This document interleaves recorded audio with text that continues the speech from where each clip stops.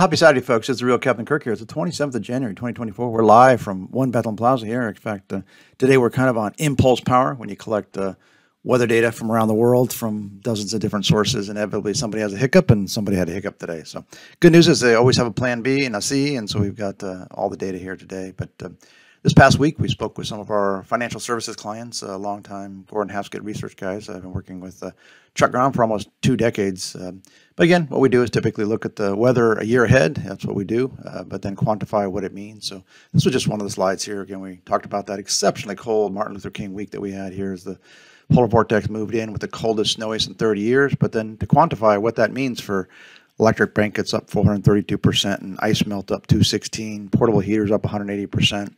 Uh, cold and snow is good for those seasonal things you and I need to buy. Car batteries. Remember all the Chicago Teslas that broke down. Car batteries do well in extremely cold weather. But um, store traffic, you and I aren't out and about, uh, so we tend to be online as opposed to in the brick and mortar stores. So again, just some of the research we provide our financial services folks. Um, we'll start here with the last week world summer here ending today here in the U.S. Again, polar vortex has retreated, so now it's five and a half warmer than last year, warmest in seven, fourth warmest in 33 years. Um, 56% wetter, number one wettest in 30 years. So typical El Nino pattern for sure. Uh, UK was probably the hot spot, number one warmest, and um, China the cooler spot, coldest in eight years, fourth coldest in 33 years. Map inset left are the trends versus average. Look at the polar vortex. When it's strong and symmetrical, as you see here, again, it tends to uh, pull all the cold air back to the North Pole.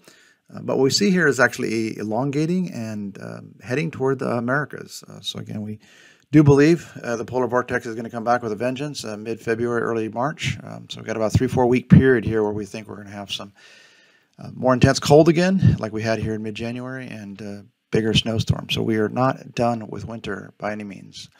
If we look at the snowfall index, these bars are showing the year-on-year change in snowfall across the U.S. Again, obviously we didn't have much going into this December last year, but December not this year.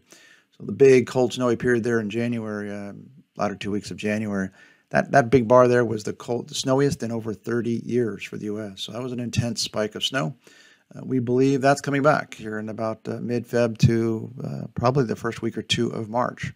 So again, a lull right now for snow, but uh, we do believe that's coming back.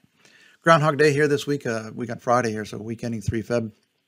Uh, here in the U.S., warm, obviously. It's 12 degrees warmer, warmest in 18 years, second warmest in 33 years. So again, polar vortex lifts out, you're going to get warm.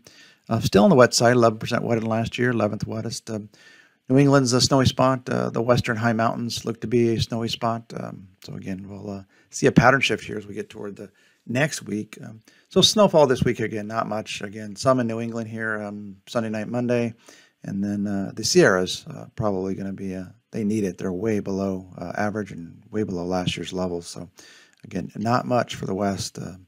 And again, if we look at the next week, we see a pattern shift here. So we start to see that cold weather coming into the western half of the country. You see the extreme warms that we've had starting to retreat, uh, still in the upper plains, but again, that's retreating and lifting out as uh, what may be the sign of a polar, polar vortex wobble back into the U.S.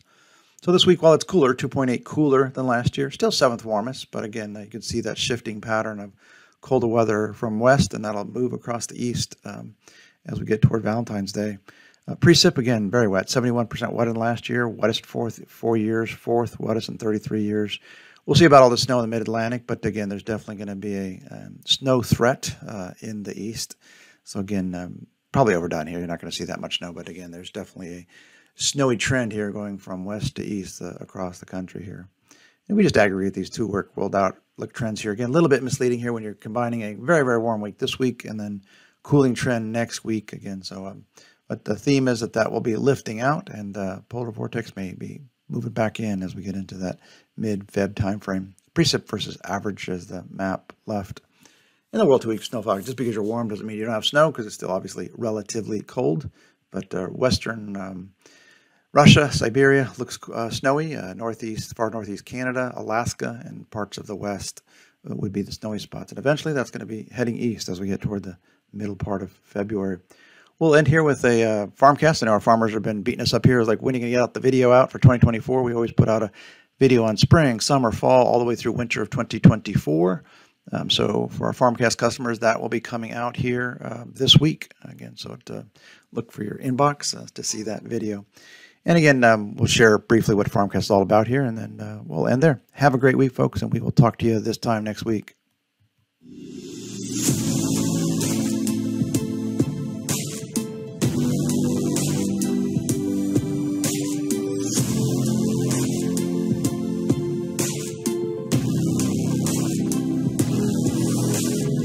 Approached by Weather Trends in the spring of 2014, I was a real skeptic. Uh, hearing that a company could come in and predict long-range weather with the accuracy they were claiming seemed crazy. That spring, our, our first touch of realizing that there was something there was they showed planting windows really early on and then really some rainouts for a lot of our seed production facilities. Uh, that year, our seed production facilities were able to get in before everybody else. They got a leg up and they became a believer and then the rest of the company went from there.